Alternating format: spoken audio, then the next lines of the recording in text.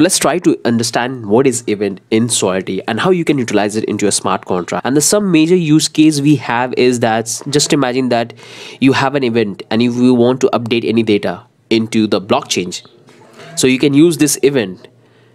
And when you use this event to store data on the blockchain and it's cost you very less as compared to using the actual storage so when you store data as a form of state variable that will cost you a higher amount. But when you use this event to store the data uh, it will cost you cheaper. So that's what we're going to learn in this that how you can create event into the Solidity smart contract and how you can define. Let me provide the license identifier Solidity and let's create a contract we're going to call it event and in that we're going to define. So so when you define your event you can pass only three indexing. You can have multiple data in the event but the indexing is going to be only three not more than that. And it will allow you to filter the data. So what happens generally in the indexing form that suppose you have uh, data on the ethereum blockchain and you want to index based on the address or based on the token id something like that. So you can have only three not more than that. So let's come here. Let's declare an event.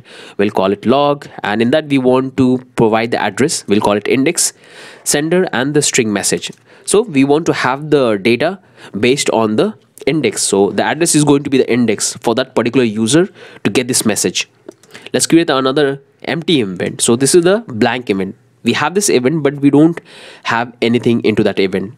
So you can declare empty event as well. So another logs let's come here let's create a function to test this. So we'll call it public and in that we have to declare the event. So we'll say emit log and we have to pass the exact data. So we have to pass the person who's calling this function. So message.sender is going to be the address and we have to pass our string.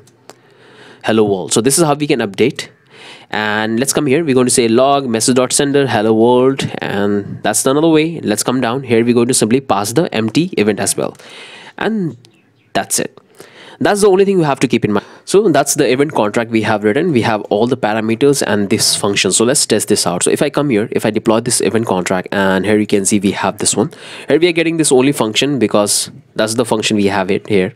Let's click on this and here you can see we got this entire but if i open this if i open this entire log here you can find that. Here we have this from which we have called this is the topic and this is the event we have. You can see we have all the event so this is the log we have defined this is the data the address and the string the address and the string the the define we have defined. So you can define multiple argument here. Here you can see we have these two events because we are passing different data in each of this event with the same sender same person who's calling this function.